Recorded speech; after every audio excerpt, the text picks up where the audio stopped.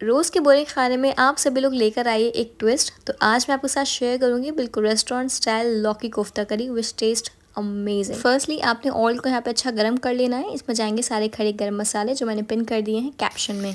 उसके बाद देखिए प्याज, टमाटर green chillies and coriander stems डालेंगे। सोक्ड हुए काशूनट्स हैं एंड जिंजर एंड गार्लिक है। सारे सूखे स्पाइसेस यहाँ पे ऐड करेंगे। आधा कप पानी यहाँ पे शामिल कीजिए एंड आपने एटलीस्ट पाँच से सात मिनट के लिए इसको पका लेना है।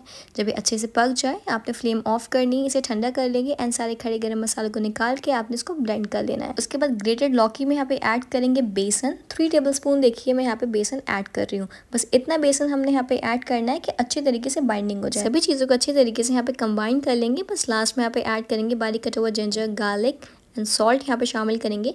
उसके बाद आपने छोटी छोटी सी यहाँ पे बॉल्स बना लेनी है। देखिए, ज़्यादा बड़ी बॉल्स मत रखिएगा, बिल्कुल मीडियम साइज़ रखिएगा। मीडियम हॉट ऑयल में आपने सारी बॉल्स को यहाँ पे फ्राई कर लेना है।